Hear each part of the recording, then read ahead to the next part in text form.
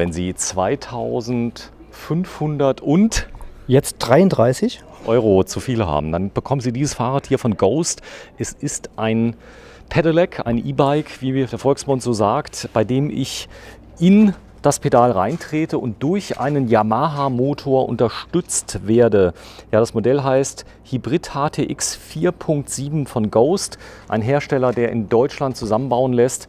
Und natürlich kommt der Rahmen aus Taiwan. Und wer sich auskennt, das ist die Qualitätswerkstätte für Rahmen. Das ist jetzt kein Witz, können Sie gerne mal googeln. Ja, es hat eine Shimano Deore-Schaltung mit drauf und als besondere, ich sag mal, extra Qualität eine Suntour Federgabel mit Luftfederung. Wir sind heute bei Kai Gimler Bikes. Grüß dich Kai. Hi Sven, grüß dich. Ja, und dabei ist natürlich der Andi. Ich grüße dich Andi. Hi Sven. Ja, das ist jetzt aus dieser Serie von Ghost 2020 das nächsthöhere Modell. Wir haben das Einstiegsmodell mal gerade eben gefilmt. Das hat eine Stahlfeder vorne, auch ganz okay, kostet etwa 2,3 ungefähr. 2,4. 2,4 ungefähr. Also das ist jetzt ähm, das nächst geringere Modell und hier habe ich dann das nächst höhere Modell. Ähm, in der Farbe ist es auch nur erhältlich. Genau, das Einstiegsmodell gibt es tatsächlich auch in schwarz. Dieses äh, höherwertige Modell nur in diesen Sandfarben, aber ich muss sagen, die Farbe kam brutal gut an, sowohl bei Männern als auch Weiblein. Das ist irgendwie so eine Farbe. Unisex. Da, da stört sich keiner dran und trotzdem hat es einen gewissen Pep. Ja. Ja, vielleicht fangen wir mal von vorne an. Der Motor, und äh, da legen ja viele drauf Wert, es muss ein namhafter Motor mit drin sein. Hier ist der neue 2020er Yamaha Motor drin. Power Series ST und da kann der Andi vielleicht mal ein bisschen was zu sagen. Sehr, sehr sanfte Kraftentfaltung. Der schaltet nicht bei 25 km/h brachial ab, als ob man gegen eine Wand fährt. Nö, das macht er nicht. Also man hat kein Getriebe drin, deswegen äh, ist es so, dass er, wenn er abschaltet, ähm, dann nicht das Gefühl vermittelt, als wie wenn man gegen eine Wand fahren würde. Muss das Getriebe auch nicht mittreten. Wenn keins drin ist, braucht er ja keins mitreden. Ja, ist ja gut. ich habe schon verstanden. Power of Hybrid, also das ist so. Vielleicht, vielleicht kommen wir zunächst mal auf äh, Ghost zu sprechen. Also Ghost ist ein Hersteller, der in Deutschland äh, fertigen lässt an der Grenze zu Tschechien, korrekt? Mhm, genau, in Waldsassen sitzen die Jungs und die haben, muss man einfach sagen, die letzten Jahre eine Entwicklung hingelegt, also wirklich Hut ab. Absolut. So, du verkaufst viele von den Fahrrädern. Wie sieht es aus mit Rahmenbrüchen? Gibt es die noch überhaupt? Null. Also sagen wir bei den Serien hier überhaupt nicht. Äh, vor Jahren im Fully-Bereich gab es das aber herstellerübergreifend öfters mal, aber ganz ehrlich, wenn ich jetzt mal gucke bei den E-Bikes, kann mich gerade nicht daran erinnern, dass wir überhaupt mal einen Rahmenbruch überhaupt hatten. Also ich habe jetzt gerade keinen am Schirm. Also diese Fahrräder hier sehen so aus, so brachial stabil. Wenn man die mal aufschneidet, sieht man, das ist Hightech. Das heißt, das Alu hat Wandstärken, das ist so dünn. Mittlerweile wird das gefertigt, hat ein bisschen was mit dem Gewicht zu tun. Die Fahrräder sind gar nicht so schwer, so um die 24 Kilo. Genau. Na, ich meine, klar, im Moment steht natürlich im Vordergrund, äh, den Akku optisch zu verstecken. Da geht es dann jetzt nochmal, falls die Wandstärken angeht, nochmal so ein bisschen in die andere Richtung, aber da geht jetzt einfach die Optik vor. Und man muss ja auch mal ehrlich sagen, du hast beim E-Bike, gerade was jetzt tourenmäßig eingesetzt wird, wo wir davon ausgehen, das Ding bleibt mit den Rädern eigentlich immer in jeder Situation auf dem Boden. Da sind die letzten paar Gramm auch nicht das Allentscheidende. Also wir haben einfach beim E-Bike andere Bedingungen. Wenn du jetzt natürlich im, im High-Performance-Fully-Bereich bist, ein Rad, wo du willst Hinterrad umsetzen und alle möglichen Spirenzien machen, dann ist das Thema vielleicht nochmal höher äh, Das ist aber nicht das Fahrrad dafür. Genau, da sind wir hier eigentlich jetzt im anderen Bereich. So, das heißt also angenommen, ich habe ein Wohnmobil oder ich will mich einfach mal bewegen oder ich will meinem Sohn ein tolles Geschenk machen. 2533 Euro mit einem Intube-Akku, 600 Wattstunden, äh, nee, ähm, Nee, hier 500, 500, Wattstunden, sorry, tut mir leid. 500, ja. Aber schon der größere Akku mit drin, also keine 400, sondern 500 und Intube. Da legen viele Wert drauf an, dass Genau. der Akku nicht mehr so sichtbar ist. So ist es. Die sagen immer, das aufgesetzte äh, stört sie von der Optik her, weil es halt dann doch offensichtlich ist, dass es ein E-Bike ist. Hier, wenn man weiter weggeht, ist halt meistens so, dass die ähm, so abgesetzt sind. Das heißt, also das Schwarz, wenn ich weiter weg bin, äh, nehme ich gar nicht so wirklich wahr, sodass ich nur das Sandfarbene im Auge habe.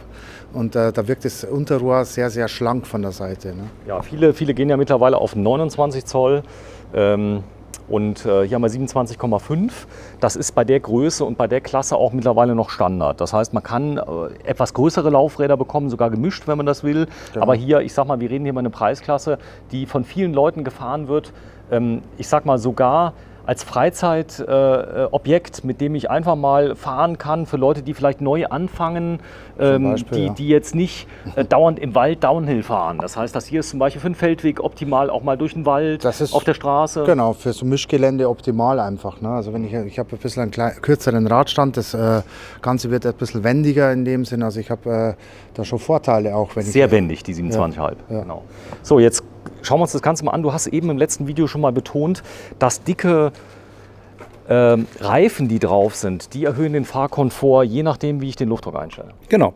Also es, ist einfach angebracht, hier geringere Luftdrücke zu fahren. Wir erleben das immer mal, immer mal noch mal, dass Kunden, sag mal, die jetzt vielleicht irgendwo ihre letzten Fahrraderfahrungen vor 20 Jahren gemacht haben, den Verkaufs- und Rat, da kommen die zur Erstinspektion und haben da sechs Bar auf die Reifen draufgeballert. Das geht. Das geht, ja, macht aber wirklich keinen Sinn. Im Gegenteil, äh, du tust eigentlich die Fahreigenschaften nur verschlechtern. Ja. Drei Bar, ist das sinnvoll? Also drei Bar finde ich schon viel.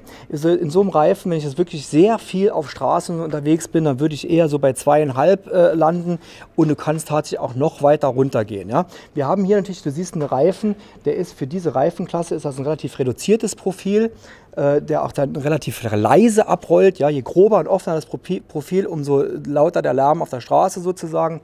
Also das hier ist so ein typischer Reifen, ein typisches Rad, da wäre ich so bei zweieinhalb Bar und gegebenenfalls sogar leicht runter. Der kommt ja mit, muss man sagen, Andi. Ich habe ja die Möglichkeit, zum Beispiel jetzt äh, von Herstellern, namhaften Herstellern, gibt es mittlerweile immer mehr Reifen. Da kann ich sogar auf dem Vorderrad einen anderen Reifen fahren wie am Hinterrad. Das geht. Also ich kann, also viele. machen viele, gell? Ja. So, zum Beispiel, was, was könnte man da drauf machen an Reifen danach, wenn der mal abgefahren ist? Nobinik? Ja, zum Beispiel Nobinik oder Smart Sam oder sowas in die Richtung. Kommt da immer drauf an, was ich dann fahren möchte. Ne? Fahre ich weiter Straße? Wenn, wenn ich Straße fahren will? so ein bisschen der Unterschied. Ähm, auch der Fahrradkategorie, wenn wir jetzt bei die Fullies gehen, ja, die natürlich äh, irgendwo in anderen Preisklassen spielen und die einfach sportlicher orientiert sind, da haben wir Mischbereifung drauf. Weil natürlich am Hinterrad brauchst du Traktion, vorne brauchst du Spurführung. Insofern sind die Anforderungen an die Reifen vorne und hinten sind ja unterschiedliche. So, das macht, ich meine, ist wie beim Auto, ist ja auch ein Unterschied, ob du jetzt ein Rallye-Fahrzeug fährst und du hast sportliche Ansprüche oder einfach nur zum Einkaufen fährst. Also da, das heißt, der Reifen ist jetzt allround. Äh, damit kann ich prima auf der Straße fahren, absolut. kann im Gelände fahren. Natürlich auch im Gelände, aber äh, das ist jetzt kein Reifen, in dem ich jetzt äh, in den Alpen jetzt irgendwo dann die, die, die Felsentrails runterballer. Da, dafür ist sie nicht gemacht. Ja? Dann haben wir nochmal andere Reifen. Aber dafür das ganze Rad nicht, genau. Das ist das ganze Rad nicht abgestimmt. Also Einsatzpunkt zum Beispiel, ich habe ein Wohnmobil, will ein tolles Fahrrad haben dafür oder ja. ich sag mal, ich möchte einfach Spaß haben am Wochenende. Kommen wir nochmal auf den Motor äh, genau. zu, zu sprechen. Da ist das Display mit drin. Das bedeutet, ich lade diesen Akku auf über eine Ladebuchse. Die ist hier in der Mitte, Andi? Die ist hier unten am Motor direkt. Okay. da kann ich sie also aufladen oder ich kann auch das, ähm, den Akku rausnehmen. genau, wenn du mal gerade so lieb bist, die mal, die mal aufmachst. Die Leute wollen mal gerade sehen, wie es da drunter aussieht. Da habe ich keine Hochvoltanschluss, sondern da ist ein Ladegerät, so ein genau, Kästchen da ist ein Ladegerät dabei. mit dabei und das also ein Stecker dabei, der nur in der richtigen ähm, Konfiguration da drauf passt. Also ich kann den quasi nicht verkehrt anstecken. Also auch Spezialisten kriegen den nicht andersrum drauf? Normal nicht, nee. Gut, okay. Hinten, das sieht man, da ist der Sensor drauf, da wird ja. die Geschwindigkeit gemessen, die wird vorne angezeigt, aber Richtig. der dient auch dazu, der Motor schaltet tatsächlich bei 25 km/h ab. Genau, deswegen ist das hier auch so ein bisschen... Ähm, plastischer abgesetzt. Das Ganze das soll verhindern, dass man so quasi so Speed-Dongles und solche Sachen drauf machen kann. Ähm, Jetzt mittlerweile sind die Hersteller auch in der Pflicht, dass man das nicht so einfach machen kann. Genau so. Das ist, äh, die Jahre vorher war das alles ein bisschen einfacher. Mittlerweile gehen die also her und äh, steuern softwaretechnisch das Ganze oder so jetzt, äh, dass man also quasi da keine Manipulationsversuche mehr machen kann. Genau, wenn du mal so lieb bist, das mal anmachst, das Display. Ähm, also einmal habe ich die Gänge, Kai. Das kennt man ja. Das sind also äh, Schaltungen, die drin ist. Da, da habe ich Ritzel hinten und dann habe ich die Motorkraft, die kann ich steuern. Genau. Das sind nur zwei völlig unabhängige Dinge. Mit der Schaltung steuerst du sozusagen deine Trittfrequenz, also wie schnell trete ich bei Geschwindigkeit X. Ja? Und das ist aber unabhängig vom Motor, weil hier stelle ich halt ein, wie viel Unterstützung rein kraftmäßig mit der Motor zu meiner Eigenkraft dazu steuert. Okay, das wird multipliziert oder ich sag mal angehoben prozentual. Genau. Und da kann ich wählen, da gibt es verschiedene Stufen. Es gibt sogar das eine Automatik. Genau. Richtig. Also du siehst hier einfach, mal kurz, einfach durch, durch Balken dargestellt. Ich bin jetzt auf der höchsten Unterstützungsstufe. Oder gehen wir mal umgekehrt. Also so habe ich gar keine Unterstützung. Das heißt, ich trete vollständig selbstständig, ohne dass der Motor irgendwas dazu tut. Also wenn und das Kind zum Beispiel vorne wegfährt im Kinderfahrrad, brauche genau, gar keinen Motor. Wenn das Kind nicht zu arg quälen, dann schaltest du den Motor aus. Äh, und je weiter du hier hochdrückst, umso stärker unterstützt sich der Motor mit seiner Kraft. Und da reden wir hier von 70 Newtonmeter, was der maximal bringt. Okay, jetzt ist ja so, die Leute überschlagen sich mit Newtonmetern. Das ist im Endeffekt gar nicht so wild. Auf der stärksten Stufe, oft, ich sag mal, bei Bosch heißt das, glaube ich, Turbo ähm, und, und so weiter. Das ist ja nur eine Frage, wie ist diese Kraft diese mögliche Kraft unterteilt. Ja, sagt ja nichts über die absolute Leistung aus, weil da haben wir auch manchmal die Diskussion, dass halt der Motor hat auch mehr Unterstützungsstufen. Das heißt nicht, dass er mehr Kraft hat. Das ist nur anders unterteilt. Und äh, was anderes, wo ich drauf hinaus will, was auch eine ganz wichtige Sache ist, was die elektronische Abstimmung angeht. Dieses Thema, ja, ich habe jetzt so viel Newtonmeter, der andere Motor so viel, das ist gar nicht immer das Entscheidende. Es muss ja auch wie hier zum Einsatzbereich passen, muss zum gesamten Radaufbau passen und vor allem ist immer ganz wichtig, wann wird die Kraft wie abgegeben. Das ist oft viel entscheidender, wie einfach nur die maximale Leistung zu haben. Genau, bei 25 km/h früher war das so, da haben wir schon mal darüber berichtet, das Getriebe musste mitgetreten werden bei vielen. Da hat man richtig gemerkt, 25 km/h kam und plomm. Was haben die Leute gemacht? Sie sind 24,9 gefahren. genau. War, war wirklich so, ja. oder? Ja, klar, da hast du ja immer so ein bisschen das Problem, dass natürlich genau an dieser Unterstützungsstufe unter Umständen ein bisschen unangenehm ist, weil der Motor da mal rein und raus ist. Und das waren aber auch Sachen, da haben die Hersteller zugelernt, dass dieser Übergang von Unterstützung zu Nichtunterstützung mittlerweile sehr smooth ist. Das merkst du kaum noch. Ne? Da gibt es aber, glaube ich, auch einen Trick. Ähm, und zwar unten wird ja das Drehmoment gemessen, also glaube ich. Da ist so ein Drehmoment-Messding äh, drin. Und das, und das misst, wie stark ich trete. Und genau. äh, man kann allein mit der Trittfrequenz kann man schon sehr, sehr viel machen, was das Gleichmäßige angeht, richtig? Das stimmt, ja. ja. ja. Der Trittkraftsensor quasi ist das dann, der äh, meldet, wie viel Druck auf dem Pedal liegt und dementsprechend hat dann auch unterstützt. Ja. Und das ist auch so ein gern gemachter Fehler, ne? dass die Leute also sagen wir, zu schwere Gänge eigentlich fahren und zu langsam treten.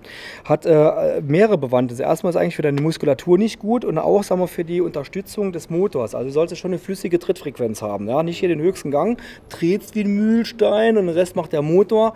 Eigentlich, wenn ich Fahrrad fahre, ich meine, guck dir einen Rennradfahrer oder so an, jeder guckt Tour de France, die treten ja auch relativ schnell. Natürlich ist das nicht für jeden, der untrainiert ist, angenehm, aber wenigstens so ein Mittelding. Also zu schwer treten. Wir haben haben wirklich, wir haben Kunden, die haben noch nie den Gang gewechselt, weil die immer nur um den schwersten Gang fahren. Richtig. Also die Leute hast du, die fahren dann immer im schwersten Gang unten an der Saar entlang. Und äh, wundern sich dann, wenn ist falsch. Kilometer die, die, Kette durch ist. Ne? Ja, also die Kette ist, durch, das Ritzel genau, durch ist. Weil, äh, einfach zu viel, unter, äh, zu viel Kraft auf der Kette dann lag und sich ja, die dann einfach gelenkt hat. Mit ne? dem geringsten ja. Rollumfang natürlich am schnellsten dann verschleißt. Ja, das kann man sogar einzeln tauschen bei einigen äh, äh, Paketen. Allerdings muss man sagen, wir sind hier im Einstiegssegment. Ich zeige mal gerade nochmal die Schaltung. Die ist gar nicht so teuer. Ich glaube, hier das Ritzelpaket so um die, um die 60 Euro. Ja, also hier geht es noch. Gibt natürlich dann äh, noch viel teurer, wo es ja wirklich eklig wird. Da sollte beim Verschleiß schon achten. Was jetzt haben wir zum Beispiel jetzt hier auch ein Unterschied ist zu diesem Einstiegsmodell. Wir haben also hier ein ähm, Shadow Plus Schaltwerk. Das unterscheidet sich äh, im ersten Moment mal durch diesen Hebel hier. Was macht dieser Hebel? So bin ich wie beim normalen Schaltwerk, hat das Schaltwerk die Möglichkeit, hier nach hinten zu schwenken. Ja. Das ist auch notwendig, um das Rad allein auszubauen. Hat aber folgende Geschichte, die Kette wabbelt halt rum. Ja? ja. Und jetzt kann ich hier eine sogenannte Reibungskupplung einschalten und die macht einfach diese Kette straffer, weil das Schaltwerk hier nicht mehr nach hinten schwenken kann, vor allem im Fahrbetrieb. Und das verhindert also zum einen das Schlagen der Kette, macht, bringt also in der, Seite, in der Hinsicht mehr Komfort und verhindert auch das Abspringen der Kette. Okay, das kann also passieren. Auf vorne das Ritzel da hat man mittlerweile ein großes Ritzel. Also Bosch hatte früher kleine Ritzel drauf. Mhm. Da konnte man auch sehen, war da jetzt ein Getriebe drin oder nicht. Untersetzung, genau. Übersetzung. Das ist heute ohne Getriebe im Motor. Äh, den Yamaha gab es so noch nie. Das betraf immer den Bosch CX bis ja. vorletztes Jahr sozusagen. Der hatte hier ein kleines Antriebsritzel. Und damit wir insgesamt nochmal die gleiche Übersetzung haben, war also intern nochmal ein Planetengetriebe, was sozusagen das kleine Ritzel auf diese Zähnezahl übersetzt hat. Laienhaft ausgedrückt. So, ich zeige mal ganz kurz. Also das hier ist ein Hardtail, hinten hart, vorne gefedert. Und jetzt gibt es eine tolle Lösung aus dem Saarland, die mittlerweile die ganze Welt erobert. Ähm, ja, es kommt von der Firma bei Schulz. Bei Schulz und äh, sie heißt G.2 und das Besondere hierbei ist, du kannst diese Feder, die hier drin ist, auswechseln. Was mhm. ist das, Kai? Also, das ist eine gefederte Sattelstütze. Typische Kundensituation, Kunde kommt rein und sagt, ach, ich habe es im Rücken, ich brauche einen Fully. Da sagen wir immer, Fully heißt hinten Fully, auch also gefedert. hinten auch gefedert. Ja. So, ein Fully ist natürlich immer irgendwo das geilere Rad, kostet aber auch wesentlich mehr.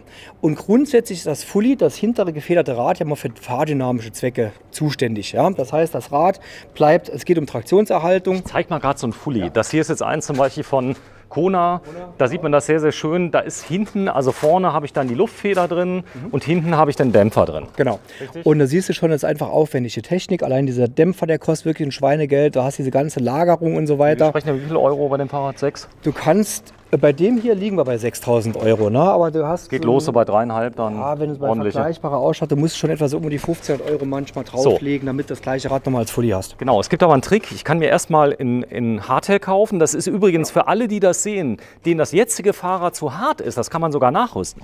Ja, natürlich, klar. Ne? Und wenn, wenn, es, wenn es mal kurz dran, dran hältst, dass man einfach mal kommt sieht. genau dieses Ding. Ich tausche also dieses Teil, was man hier Sattelstütze nennt, einfach gegen diese gefederte aus. Ich kann damit natürlich die fahrdynamischen Vorteile eines Fullies nicht simulieren, aber den Komfortanteil, das heißt, ich sitze auf dem Sattel und kriege die Stöße nicht voll in den Rücken ab. Das macht genau dieses Das ist Ding. wesentlich, muss man Das ist- sagen. ja, natürlich, So, klar. diese Feder gibt es einzeln. Das heißt, wenn ich also 20 Kilo abnehme, brauche ich eine neue Feder. Genau, die, das ist auch nur dieses kleine Teil, lässt sich austauschen. Also wir haben die Sattelstütze zum einen in verschiedenen Federraten da und diese Federn haben wir auch einzeln da, damit wir immer aufs Gewicht abstimmen können. Weil bei jeder Federung gilt, du musst mal sehen, beim Fahrrad ist anders wie beim Auto. Ein Auto hat eine so hohe Gesamtmasse, da ist es der Federung relativ egal, ob jetzt einer drin sitzt oder nicht. Beim Fahrrad ist was anderes, weil das Fahrzeug halt kaum Eigengewicht hat. Insofern ist eine Gewichtsschwankung beim Fahrer anteilsmäßig nämlich viel stärker äh, zu bewerten wie beim Auto. Und deswegen ist beim Fahrrad immer wichtig, bei der Luftgabel, bei dem Dämpfer hinten, sofern ich einen habe, oder aber auch bei der gefederten Sattelstütze, dass das zum Fahrergewicht abgestimmt wird. angepasst wird. Und hierbei kann ich das anpassen. Die Feder gibt es einzeln. Diese Sattelstütze kann ich mitnehmen. Das heißt, ich, ich kriege ein neues Fahrrad, da kann ich die ausbauen und mitnehmen, wenn sie dann passt. Bedingt, ich sag mal so, wir haben mittlerweile die Situation, dass wir uns hier, dass die meisten Hersteller sich auf zwei Sattelstützmaße eingeschossen haben, 31,9 Millimeter. Äh, 30,9 und 31,6, genau, Millimeter. Äh, und relativ selten noch 27,2. Jetzt ist natürlich so, wenn du jetzt eine 30, äh, 31,6er hast, passt natürlich nicht in den Rahmen mit Aber wenn- 30,9. Aber wenn sie passen Aber- würde, kann ich sie mitnehmen. Genau.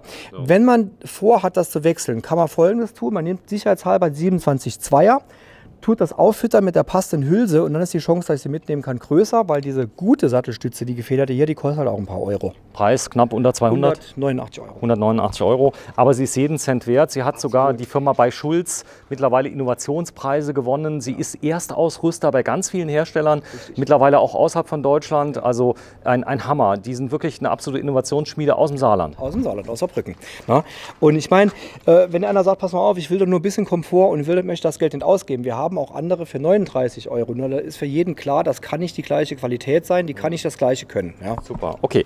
Sattelstütze ist klar. Das heißt, ich kann mir die Federung hinten quasi erkaufen, kann sie sogar nachrüsten. Viele werden das nicht gewusst haben, muss man dazu sagen. Also ich denke, eine wichtige Information. Und das ist nicht so, dass du die Schuhcreme zu den Schuhen immer gleich verkaufen willst, ja, sondern man muss es einfach nur wissen. Nein, das ist ein sinnvolles Teil und letztendlich kommen wir unserem Kunden ja dann auch da entgegen, weil wenn jemand sagt, pass auf, ich brauche einen Fully, weil ich es im Rücken habe und wir erklären ihm das, spart er unter Umständen vielleicht 1000, 2000 Euro und hat für sich eigentlich nachher das bessere Rad, das auch weniger Wartung bedarf und einfach besser im Handling ist, weil er die aufwendigere Technik nicht braucht. Ja, es gibt sogar Firmen, deswegen sind wir bei der Größe. Also hier nochmal ganz kurz vielleicht zusammenfassend. Akku ist im Rahmen drin, die Geometrie. Darüber haben wir übrigens in dem ähm, Video über dieses Fahrrad gesprochen. Das ist nochmal das äh, 2.7, richtig? 2.7, Das genau. 2.7, das hier ist das 4.7. Also Ghost 2020 2.7, da findet ihr äh, Themen Geometrie. Und jetzt würde ich gerne nochmal auf das Thema Individualisierung ansprechen. Ja, wenn du mal so lieb bist, es gibt noch einen Vorbau, den haben wir eben mal ausgepackt. Und es gibt die Möglichkeit, Licht nachzurüsten und Gepäckträger und so weiter und so fort.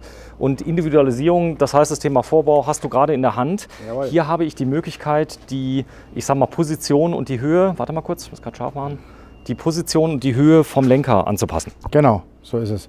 Also ich komme mit der ähm, ja, Vorbau, äh, mit dem Vorbau schon etwas höher. Wenn ich den jetzt einfach mal dahin halte, also der ist jetzt hier niedriger und der ist ja hier, wenn ich den so drauf halte, so ein Stück schon höher. Ne? Ja. Also komme ich also schon wesentlich höher raus und durch die Neigung an sich komme ich ja noch höher raus. Also wenn ich jetzt den draufschrauben würde, würde ich tatsächlich nicht hier den Lenker haben, sondern hier oben jetzt. Ne? Und das ist also dann schon ein äh, ganzes Stück höher. So, der Kai hat noch was mitgebracht. Genau. Man, kann sogar, das habe ich gemacht, einen ganzen Lenker tauschen. Richtig. Und zwar geht es dabei jetzt dann auch um Zertifizierung und um äh, Zulassungsgeschichten. Den Vorbau, den so Andi jetzt gerade hier gezeigt hat, der ist natürlich eigentlich für einen Toureneinsatz gedacht. Ja? Ähm, jetzt haben wir ja auch sagen wir, Mountainbikes, die wirklich härter rangenommen werden und da würde ich sowas natürlich nicht verbauen. Wenn jetzt ein Kunde sagt, pass auf, ich will aber trotzdem, ich möchte ein bisschen aufrechter sitzen oder gerade bei einem XL-Rahmen haben wir oft die, die Gegebenheit oder einer hat ewig lange Beine, ja, dass der Sattel sehr hoch ist und dann ist die Front zu niedrig. Und dann haben wir jetzt hier mit unserem Stell- Hersteller Reverse, haben wir jetzt die E-Series und da haben wir zum Beispiel in dem Fall jetzt hier einen Lenker, der wesentlich höher ist von der Kröpfung wie der Standardlenker. Und dann kann ich wirklich mit eingebauter Sicherheit, was dann auch für das Produkt zugelassen ist, die Sitzposition verändern und die Front erhöhen, ohne irgendein Risiko einzugehen und ist auch eigentlich optisch die sauberere Lösung. Ja? Also wir haben die jetzt hier sogar in noch höher. Ich habe jetzt gerade mal einen rausgegriffen. Das hier ist dann, äh, wie war wir da? Erhöhung 40 mm hat der. 4, 4 cm höher. Nee, insgesamt. Da, also von, von Mitte bis Mitte. Ne? Ähm, haben wir in verschiedenen Maßen, haben wir die da in verschiedenen Höhen. Und den kann ich also montieren und ist natürlich auch einfach so eine optische Sache. Warte mal, so ein zeig's mal vorne. Sieht natürlich cooler aus, wie am Mountainbike einen verstellbaren Vorbau zu montieren, nur weil ich höher sitz, äh, die Front höher haben will. Okay, wenn ich da also haben sofort als Rentner durchgehen möchte, dann äh, mache ich die. Nein, nein, das war jetzt Spaß, aber man, Nee, man, man äh, sieht das schon direkt. Hey, jetzt ohne Scheiß, es gibt auch keiner Geld aus für ein Fahrrad, was einem nachher nicht gefällt. Und das sind schon Details, ich finde die wichtig. Das heißt, ich komme höher, äh, habe es jetzt gelöst durch einen anderen Lenker. Äh, da kann ich sogar noch den Winkel sogar noch mir kaufen, Mhm. je nachdem, welchen Winkel ich gerne hätte. Wenn du mal kurz nochmal den Lenker in die Hand nimmst, ähm, da ist es nämlich so viele, viele, ähm, die berichten über Schmerzen, Ja. die sie dann im Gelenk haben. Und da gibt es Leute, die haben verschiedene Winkel. Richtig. Na, sagen wir, es gibt Lenker mit verschiedenen Winkeln. Ja, okay. Ähm, jetzt muss ich halt leider jetzt für, zur Demonstration sagen, bei mir ist das Phänomen äh, wenig stark ausgeprägt. Aber du hast vielleicht auch schon gesehen, es gibt Leute, die sitzen also im Fahrrad und haben die Hand also ganz stark nach innen abgewinkelt. Ja? Und das gibt Probleme. Und jetzt haben wir Lenker, die haben andere Winkel in dem Bereich und damit kommt die Hand nochmal gerade, also in der Flucht zum Unterarm. Ja. Und das beugt also wirklich massiven Problemen vor. Sowohl eingeschlafene Hände und man soll es kaum glauben, aber wenn du hier unten eine Zwangshaltung hast, das geht bis hinten in den Nacken rein. Das heißt, du hast einfach eine unentspannte Sitzposition und solche Lenker haben wir also auch vorrätig da. Also ich will jetzt nicht auf das Thema ähm, Sitze eingehen. Da gibt es eine Möglichkeit, sich den Hintern vermessen zu lassen, Genau. dass Schmerzen weggehen. Und zwar, das kann ich aus eigener Erfahrung sagen, also lasst die Finger weg von Gelsatteln, wenn ihr länger fahrt. Äh, die, äh, ich sag mal, die verzögern das Problem nur um eine halbe Stunde, so, sondern äh, es geht darum, der Sattel muss passen. da habt ihr eigene Systeme da. Äh, das ist auch nochmal eine halbe Stunde Arbeit. So ein, so ein Sattel, der kostet um die, um die 100 Euro. Ja, geht halt bei 90 Euro los. Da sagt nicht manch einer, scheiße, viel Geld für einen Sattel, aber man will ja ein Problem lösen. Fährst stundenlang Und und, du, hast willst, Schmerzen. du willst ja Spaß haben, ja? abgestiegen. Am Anfang hatte ich einen falschen Sattel. Ja. Da äh, kannten wir uns noch nicht und da habe ich diesen Sattel, äh, da, da steht eine Ziffer drauf, orange, äh, sag's mal gerade der Hersteller. 610 Esculap. Esculap, genau. So, und da habe ich einen Sattel geholt. Du hast mir den Hintern einmal ausgemessen, das heißt die, die, die Mhm. War's Knochen hinten. Nee. Nein, das ist, so- ist ja egal. Auf jeden Fall, da gibt es ein Video zu. Guck mal, Esculap Lenker und da, da wird irgendwie der Hinter reingedrückt. Da kannst du sehen, wie, wie weit sind die Beckenknochen auseinander. Auch das Problem kann man lösen. Genau. Ja, weil guck mal, äh, typische Situation, wir haben viele Neueinsteiger, die kaufen sich jetzt ein E-Bike und auf einmal fahren die wieder stundenlang Fahrrad am Wochenende. Und ich meine, du weißt natürlich klar, wenn ich etwas neu anfange, die ersten paar Schmerzen kannst du keinem nehmen, aber nach einer gewissen Einfahrzeit sollte das aufhören. Und wenn drei das Jahren. nicht der Fall ist, nein, eher nach drei Wochen, wenn das nicht der Fall ist, bitte herkommen, wir haben Lösungen dafür. Auch wirklich. Also es ist so, es funktioniert tatsächlich. Ist sogar so, mein Sohn ist acht Jahre alt, der fährt auch jetzt Escolab, weil, weil einfach die, die Sattel sind super, sind aber individualisiert. Meine Frau fährt sogar auf dem Trainingsfahrrad zu Hause einen Escolab-Sattel, weil er nicht mehr wehtut. Die solche Kunden haben wir auch, die zu Hause auf dem Heim- Heimtrainer mittlerweile diese Sättel fahren, weil nochmal, du willst ja irgendwo Sport machen, willst Spaß haben und keine Schmerzen. Ja, ich meine. Muskelkater ist was anderes, den wollen wir haben, aber den Rest lassen wir weg. Andi, du bist ja jetzt Neusaarländer. Würdest du einem Saarländer dieses Ghost-Fahrrad bedenkenlos empfehlen, wenn er sagt, oh, ich, will- ich suche sowas um die zweieinhalb, will ein tolles Fahrrad haben, ein Hardtail? Sicher, wie das reinkommen ist, habe ich selber überlegt, ob ich es nicht hole als Zweitfahrrad. Boah, bist du ein, ja, also ein. Verkäufer. So.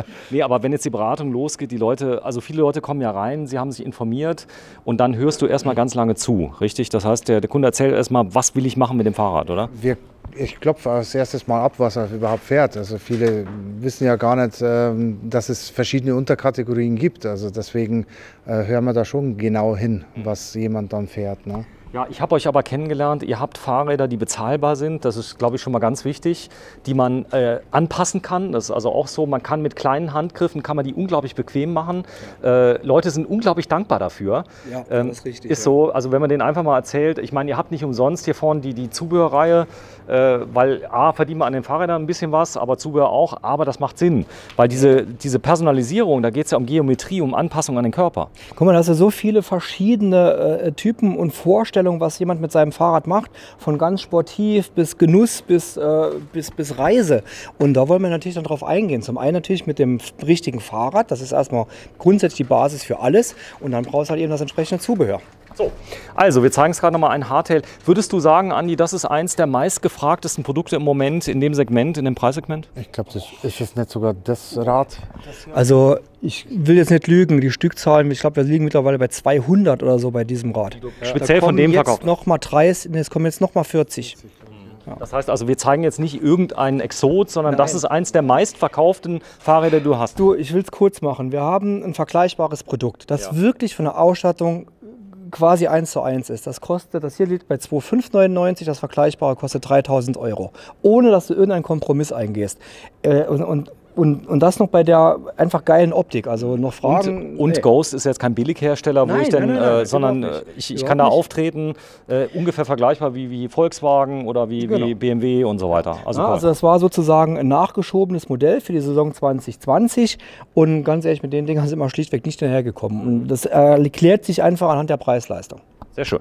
Also es gibt äh, noch tausend Dinge, über die man berichten kann. Insbesondere gibt es von bei Schulz einen Vorbau, den kann man einfach wegschwenken, wenn man ein Wohnmobil hat. Das wissen viele gar nicht. Das heißt, den kann man runterklacken und dann äh, kann ich einfach diesen Lenker ohne Werkzeug beiseite. Denn ich sag mal so, das größte Bauteil ist neben den Pedalen der Lenker, den man irgendwie wegklappen muss.